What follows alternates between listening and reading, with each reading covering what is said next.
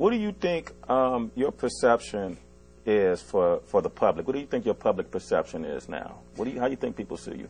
Um, I'm confused right now as, as, far as the public perception. Like, I think with my fans, they still love me, they uh, support me, but um, definitely, definitely, uh, like you have those people that, that don't support you, so I, it's like kind of 50-50 to me. Mm-hmm. Like I got the, the people that'll come out and support me, then you got the people that don't want to see me do anything. Mm-hmm. Like they they want to see me kind of basically in jail. So it's like Yeah.